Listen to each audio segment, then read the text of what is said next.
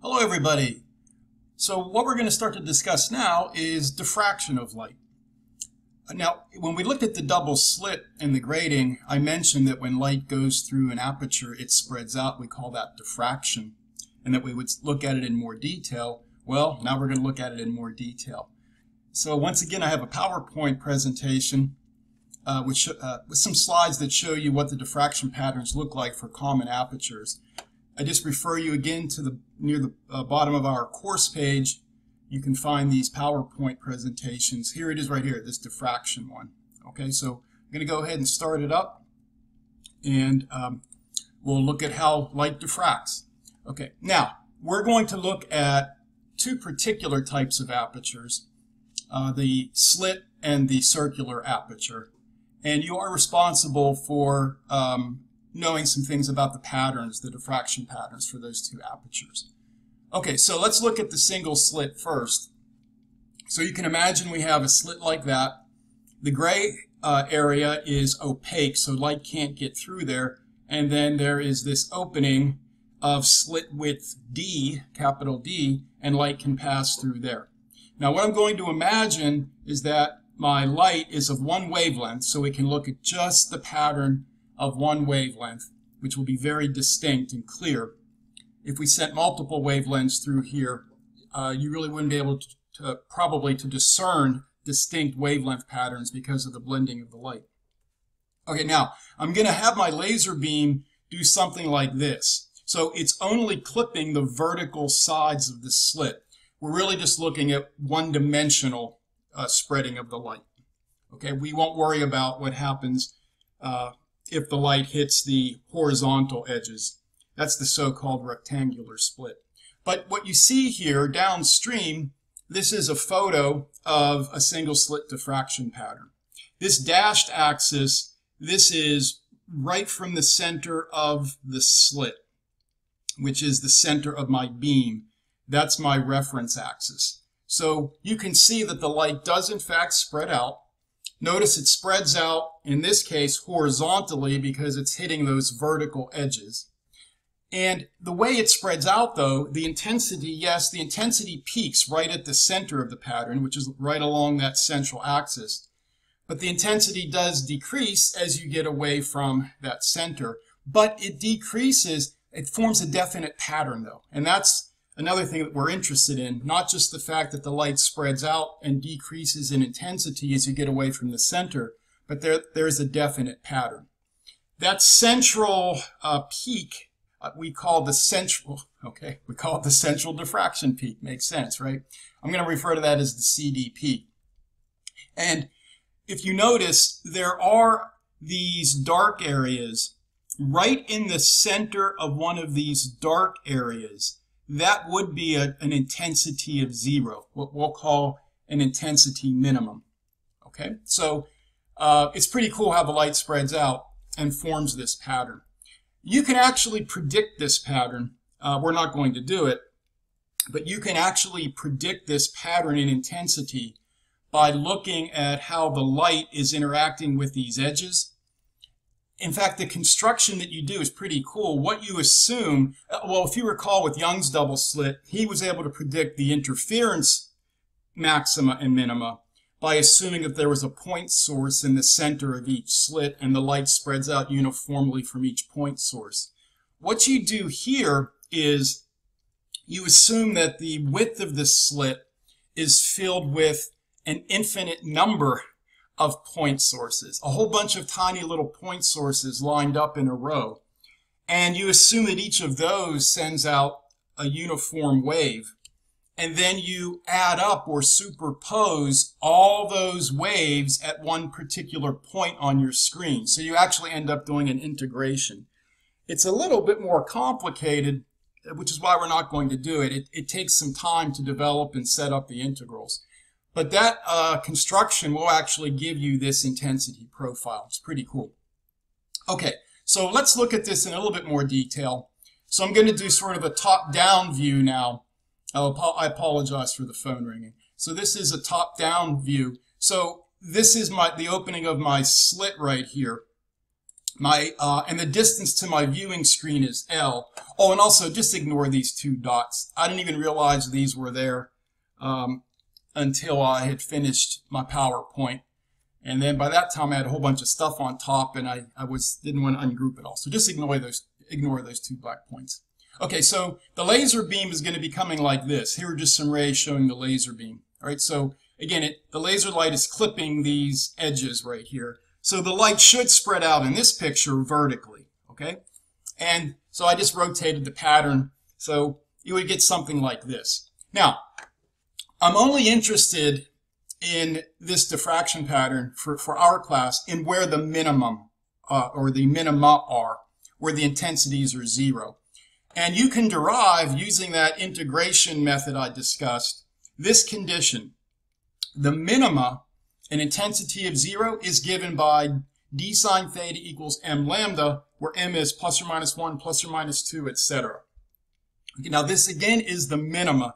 In the double slit, we had a condition for the intensity maxima at d sine theta equals m lambda, where d was the separation of the slits. So that can be a little confusing, okay? So this is where the minima are. So for instance, I indicated the m equal 1 minimum, which would be right there at the center of that first dark area, and the m equal minus 1 would be here? Um, you might ask, well, are the maxima in intensity given by d sine theta equals m plus 1 half, close parentheses, times wavelength? And the answer is no. It, uh, it turns out that the maxima are not given by an integer times wavelength. The, the intensity peaks, the separation actually is not uniform. But again, I'm not interested for what we're going to do um, when I'm holding you responsible for in where the maxima are. Uh, they are close to m plus 1 half times wavelength, uh, but not exactly. Okay, so the reason I want to focus on the m equal 1 and m equal minus 1 minima is if we just take the separation of those two, that physical distance, that's going to give us the width of that so-called central diffraction peak. And the way we can get that is we did this similarly for the double slit. If I assume that the distance between the aperture and the screen, L, is a lot, lot bigger than the opening of the slit, which is always going to be the case for us. These slit openings, again, are on the order of millimeters uh, or submillimeter. L is going to be several meters. Then you can do small angle approximation, say the sine theta is approximately the tangent of theta, which is y over L, y being the position on the screen, y equals zero being right here at the center of the pattern. Then you replace sine theta with y over L, and you find out that the positions on the screen of the minima, the y values, are given by m lambda L over d. So if I just take the difference in y between m equal 1 and m equal minus 1 minima, I will get the width of this central diffraction peak, which is 2 lambda L over d. d being the width of the slit opening. So here's, you should remember this formula right here for the width of the central diffraction peak. You will notice that the central diffraction peak is twice as wide as the other uh, secondary peaks. So that's an interesting result too. Also notice that if we make D smaller, that the width of the central diffraction peak gets wider, the pattern spreads out. The light spreads out more, there's more diffraction. If we make D bigger, less spreading out. If the wavelength gets shorter, there's less spreading out. You can see that with the width of the central diffraction peak. If the wavelength gets bigger, the, you get more spreading, okay? So just keep that in mind. I'll talk more about that near the end of this, this video. Okay, so that's the uh, central, uh, uh, sorry, the diffraction pattern for a single slit. I do want to revisit the double slit though. This is pretty cool. So what I have here, this is the single slit pattern you see up top. And here's the double slit pattern that we talked about in the last video. And at that time, I mentioned that Young's analysis can't address why the intensity is falling off. It only addresses where are the intensity maxima and where are the intensity minima. The intensity maxima are relative maxima because again, the intensity peaks are falling off as you go away from the center. Well, the actual pattern that you see right here, this double slit pattern, it is a combination of that interference that Young analyzed and the single slit diffraction pattern. So what this picture right here shows you, in fact, is if you only do Young's analysis, which is labeled interference here, this is intensity on the vertical versus angle from the central axis on the horizontal. So if you only do the interference analysis, you will get these uh, equal intensity maxima peaks and then intensities of zero, okay? Which again is what we discussed when we did Young's analysis. If you only look at the single slit diffraction, which is up here above, you will get this blue curve. Here you can see the central diffraction peak, this big blue curve. Here's the first minimum right here at about 30 degrees. Then this peak, another relative minimum. I'm sorry, another relative maximum coming up. And then it would go down to another minimum. Then it would come up to a smaller intensity peak, then down to a minimum. And it would just keep going up, down, up, down until the light reached zero uh, intensity farther out.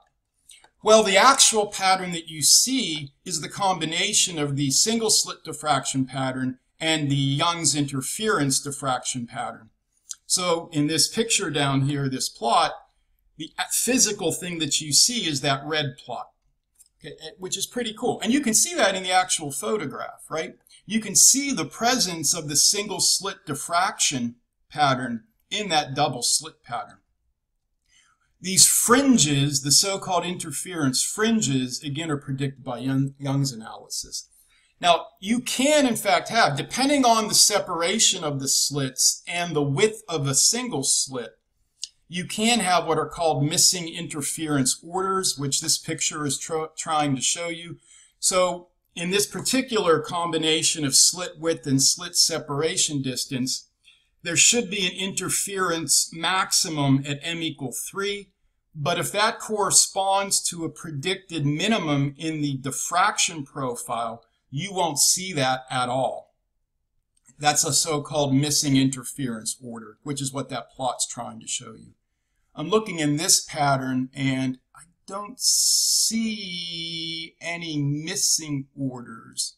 It looks like, yeah, I don't think I see, well, there, no, it doesn't, I don't think I see any missing orders. Uh, so again, that has to do with the combination, the ratio of the slit width opening to the slit separation distance. But I just wanted to come back and, and talk more about the double slit and say that the actual intensity pattern that we see with our eyes is a combination of the uh, double slit pattern analyzed by Young and the diffraction pattern of a single slit. I think it's so cool um, it, that, that the way the light behaves with these, and it's really the light interacting with these vertical edges if we have vertical slits. It's the light interacting with the edges that does this. Um, that the pattern of the double slit is centered right right right between the slits, the, the diffraction pattern. So it's not like you're getting two separate diffraction patterns from each slit, centered on each respective slit. The whole diffraction pattern, one diffraction pattern, is centered on that y equals zero point. Okay, so that's that. Now, let's go and look at the circular aperture in this video. Um, yeah, um, we'll just do one video for both of these. So here's what I mean by a circular aperture. It's just a circular hole of diameter big D. So I'm going to call the opening again big D, and this is the diameter of the hole. The idea is that we're going to hit this with a laser beam that overfills that hole so that the laser light's interacting with the entire circular edge. And this is the pattern that you're going to see. The light again spreads out. Now because it's a circular hole, it's spreading out in all directions. The intensity does drop off from the center. So again, this green, oops, sorry, this green axis is our central axis from the center of the aperture to the center of the pattern. So the intensity is uh, dropping off as you get away from that. It's, it's dropping off radially, but there's a definite pattern to the intensity drop off. Again, there are um, radii where there is no light at all, an intensity minimum of zero.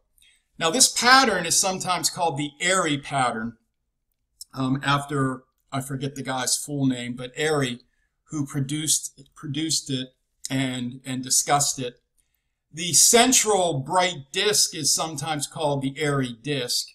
Okay, and then the airy rings surround the airy disk. The airy disk I'm referring to as the central diffraction peak. Uh, analogous to the central diffraction peak or CDP from the single slit. Now you can analyze this again. Um, this is a fun integral to do. You have to end up doing a two-dimensional integral, it turns out. Uh, so you, you imagine that there are an infinite number of point sources inside the circular aperture, and you sum up all these waves, these spherical waves coming from these point sources, and you can actually predict this pattern. Again, it's it's a little bit more complicated. Um, in fact, the integrals that you get are um, are a, a, a, type of Bessel function. I don't know if any of your math classes you may have uh, looked at some integrals that are the so-called Bessel functions. I think there are a couple different kinds of Bessel. I mean, I know there are a couple different kinds of Bessel functions that you can write as a series. It turns out that this diffraction pattern can be written as a, a Bessel function series if you look at the intensity. Okay, um, now, uh, again, just so we're uh, can talk about the width of that central diffraction peak. What I did is I'm doing a top-down view similar to what we did with the single slit. So the opening of my circular aperture is over here is big D. The light's spreading out uniformly in all directions. The minima are not equally spaced, it turns out. Not, and that's unlike the single slit. Uh, because of the two-dimensional spreading out of the light, uh, it turns out that mathematically the minima are not equally spaced. I'm only going to look at the first minimum, and the angle from the central axis that gives you the first intensity minimum of zero satisfies d sine theta equals 1.22 lambda. Okay? Um, and again, what you can do is you can find the radius of that airy disk or central diffraction pattern.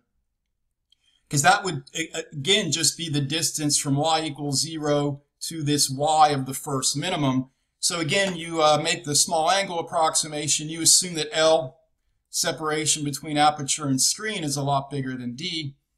And you can replace sine theta with y over L. And you find out that if I again put a y-axis on my viewing screen, call y equals 0 the center, the first minimum should be at y equals 1.22 lambda L over D. Now I can go down and say there's there's also a y equal minus 1.22 lambda L over D position. Okay? But that enables us to get a formula for the width of the central diffraction peak, which would be the diameter of the so-called airy disk. So I just double this expression here. I get 2.44 lambda L over D.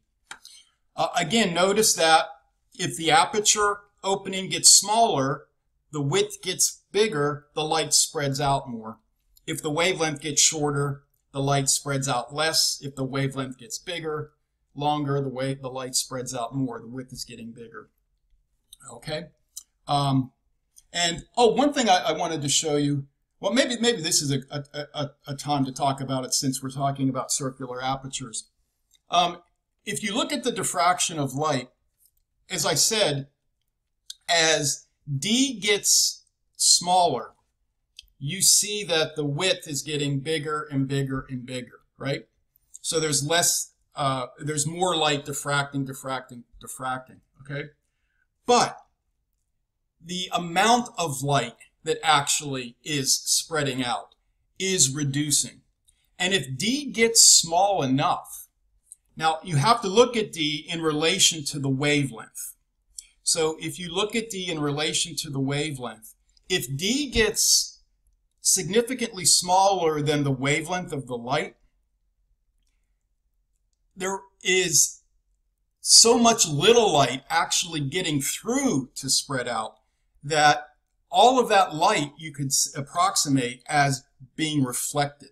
So if the aperture opening gets small, is small compared to the wavelength of light, and again, it's, it's a gradual thing, but if D is less than the wavelength of the light by enough, any light that hits that opening will actually reflect. It's, it's a cool phenomenon, okay? Um, an application of this is if you if you guys are cooking with your microwave, right, and, and your the light is on in your microwave, and you peek in, you're peeking in. I don't know if you've noticed, but there are these holes that you're peeking in through, right through the glass. The holes are large enough that the visible light can get through, but the opening of the holes is small enough compared to the microwave wavelengths that the microwave radiation is reflected back into the into the oven. So it's a neat application of if the aperture gets too small compared to the wavelength of the light, then any radiation that hits that opening is actually going to reflect. Okay? And as D, if D is significantly greater than the wavelength of the light, then the light's not going to spread out at all. Uh, well, it, it, it's not going to diffract at all. So that's where you're going to get sort of just what, like a, a nice sharp edge shadow, although it's not perfectly sharp edged. Okay, so if I have my laser beam, for instance, you know, if I'm sending it through a millimeter size opening and clipping the edges, then I'm going to get appreciable diffraction in this pattern. If I expand my beam so that it's, you know, a meter wide, uh, that, that's a big laser beam, but imagine I could do that. And now I have um, my uh, opening, right? That's on the order of a meter, like a doorway. And I shine that beam and it clips those edges. I'm not going to get significant diffraction. Okay, so the opening aperture is just too big compared to the wavelength of the light. So if, if I look downstream on a wall, you're basically going to see red light filling the doorway and then these edges of the doorway appear as a shadow. Okay, um, so not significant diffraction. So there are these regimes where you look at the opening compared to the wavelength of the light. Okay, um, Oh, another thing I wanted to mention, I know, I, I know, I'll shut up, I promise, in just a bit, is if you notice as the wavelength goes down, the spreading out goes down. The width of the central diffraction peak goes down. Now, laser light going through circular apertures happens all the time. In fact, if you try to focus your laser beam down to a spot, you're not going to get a true tiny spot. You're going to get this diffraction pattern, an airy pattern because somewhere the light's going to be going through a circular aperture or encountering a circular edge. So if you think of like DVDs, uh, when they write a DVD, what they're doing is they're focusing light down, excuse me, focusing light down to a spot. And that spot is encoding a, a bit, a one or a zero. Think of it that way. So, but when they focus the light down to encode a bit, they're, they're getting an airy pattern. Now, if they decrease the wavelength of the light, they'll get a smaller spot size. So if we use, for instance, violet light, uh, like in a Blu-ray DVD, the spots are smaller. They don't spread, they don't diffract as much. So we can get more information on that DVD. So that's why the Blu-rays can hold more information and have, you know, super high def movies and everything else. So uh, again, that's due to the diffraction of the light. All right, one last thing I wanted, I wanted to mention, the so-called Poisson spot, although sometimes it's called the, and I don't, I, I'm sorry, I'm going to mispronounce this, the Arago spot. Um, and what, what this refers to is, suppose instead of having a circular hole, you have an opaque disk. So here's just a, a disk, right? No light can get through that disk, but the light can get through, right, outside of the disk. So what happens if I take my spot, uh, my laser beam and overfill that so it's clipping the circular edges? Well, it turns out, this is pretty cool result, you actually get a bright point right here, right on this central axis. And this is known as the Poisson spot or the Arago spot. And there's a little historical story here.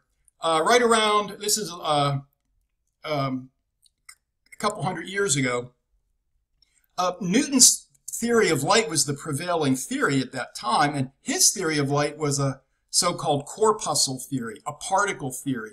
He thought light, light comprised, was comprised of a stream of these particles.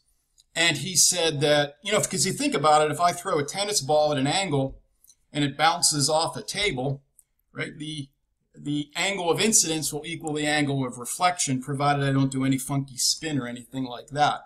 So he, he explained diffraction with this particle theory. He explained dispersion by saying that different colors, the, the particles were different sizes. He even had a polarization uh, explanation saying that the particles were not spheres, they were ellipsoids. Okay, so that was the prevailing theory, but there was more and more evidence a couple hundred years ago, um, in early 1800s, that maybe there was some wave-like nature to, to, to light, and maybe Newton wasn't right. So Young was one of the wave proponents, and a guy named Fresnel was one of the wave proponents. And they're producing, you know, publishing their ideas that light is a wave. Well, Poisson, it turns out, um, he was a member of some scientific academy, and he didn't believe the wave theory of light. So what he did, in fact, was he took some of the work, I think it was by Fresnel or it may have been Young, and he studied it and he said, well, look, this, this silly idea suggests that if light overfills a disk like this, an opaque disk, there should be a spot at the center on the central axis. And, you know, that's, that's just silly. Now, it turns out that people had seen this spot. He, I, he, he wasn't aware of anybody seeing this spot. But people elsewhere throughout history ha, had observed this. But um, the guy, Arago, again, I might be mispronouncing that, he's the one that did the actual experiment and produced the spot. And uh, so, in honor of Poisson, who was trying to say this is a silly idea, he worked out the theory. They, this spot is now known as Poisson's spot. So it was a pr pretty good piece of evidence that light should be treated as a wave and that Newton's corpuscle theory maybe should be shelved. Okay? All right, that's it. I've talked too long in this video. All right, we'll, uh, we'll see you in the next video. Bye-bye. Oh, before I, before this, don't, don't forget, go to the summary notes. Um, don't forget the summary notes. And what I want you to remember is summarized right here. And again, it's not a lot. It's just some things about the, the patterns for the single slit and the circular aperture. Okay, that's it right there. All right, bye-bye.